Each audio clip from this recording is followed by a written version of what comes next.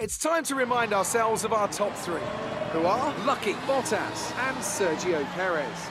And if today's practice is anything to go by, we're in for an exceptional weekend of Formula One.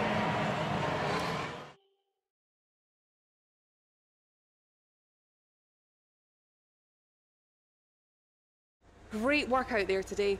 Let's have your thoughts. You put in a lot of time on the track today. Was there a reason for this?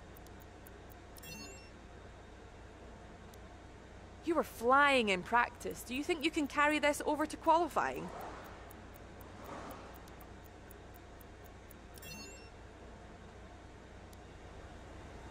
Appreciate your time.